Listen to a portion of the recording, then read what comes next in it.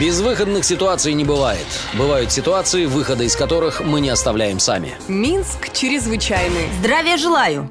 В эфире «Минск чрезвычайный» у микрофона Анастасия Гарбар. Статистика в лицах и цифрах. Минск чрезвычайный. Оперативная информация за неделю. Традиционно вначале остановимся на цифрах статистики.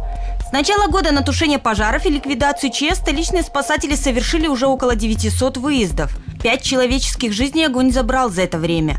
16 человек пострадали. А вот 97 были спасены и эвакуированы из опасных зон работниками МЧС. Минск чрезвычайный. В начале минувшей недели короткое замыкание оставило одного из столичных жителей без микроволновой печи и с копотью на стенах. ЧП произошло в понедельник поздно вечером в пятиэтажке на улице Кальварийской. Спасатели оперативно ликвидировали возгорание и никто не пострадал. МЧС напоминает, не оставляйте без присмотра включенные в сеть электроприборы. Не устанавливайте их вблизи от сгораемых предметов и материалов.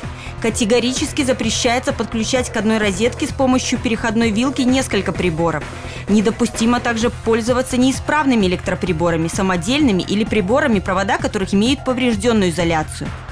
Если электроприбор все же загорелся, прежде всего выдерните вилку из розетки. Если такой возможности нет, тогда обесточьте квартиру через электрощит на лестничной клетке и вызовите спасателей по телефону 101 или 112. Если пламя небольшое и вашей жизни и здоровью ничего не угрожает, попробуйте справиться с возгоранием самостоятельно до приезда спасателей. Для этого накройте горящий прибор плотной тканью или одеялом. Так вы перекроете доступ воздуха к огню. Или попытайтесь засыпать пламя песком, землей, стиральным порошком. В ночь со вторника на среду предположительно в результате поджога на проспекте Пушкина загорелся легковой автомобиль «Форд».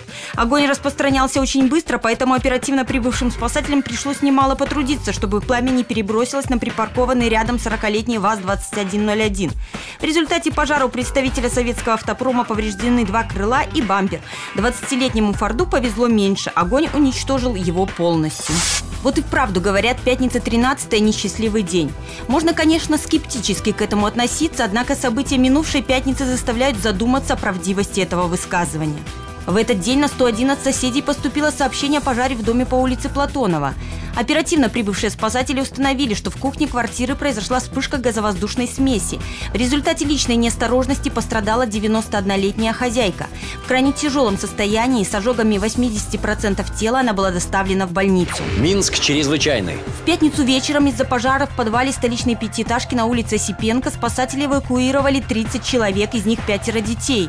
Предположительно, из-за неосторожного обращения с огнем неустановленным лицом в одном из подвальных помещений загорелось имущество.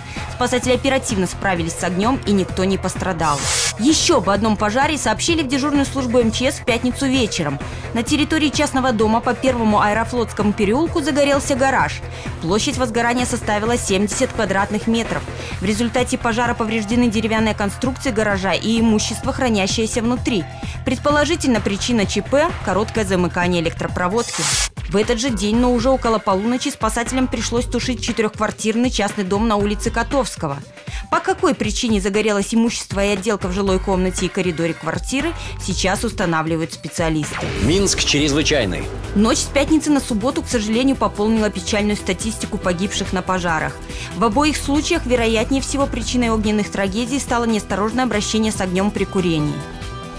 Первом случае пожар, унесший жизнь мужчины, произошел около трех утра в девятиэтажке по улице Даевского. В ванной комнате горящей квартиры в бессознательном состоянии спасатели обнаружили 49-летнего пасынка хозяина. Огнеборцы вынесли его на свежий воздух и передали врачам. К сожалению, после проведения реанимационных мероприятий медики констатировали смерть мужчины. Со слов соседей, погибший проживал вместе с племянником. Они курили и употребляли спиртные напитки.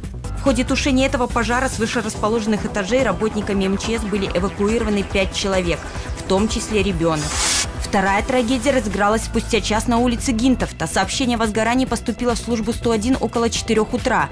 Выяснилось, что в жилой комнате однокомнатной квартиры загорелось имущество.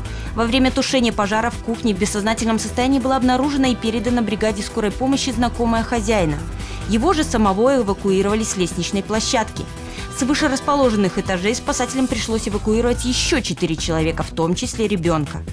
Стоит отметить, что проезд спасателей к месту этого происшествия был затруднен припаркованными автомобилями. Как знать, возможно, именно ваш автомобиль помешал своевременному оказанию помощи и стал причиной трагедии. В очередной раз напоминаем всем водителям, что при выборе места для парковки на внутридворовых территориях, в особенности в ночное время, учитывайте возможность проезда большегрузной техники МЧС. Безопасных вам выходных, берегите себя и своих близких. До встречи через неделю. Пока. Безвыходных ситуаций не бывает. Бывают ситуации, выхода из которых мы не оставляем сами. Минск чрезвычайный.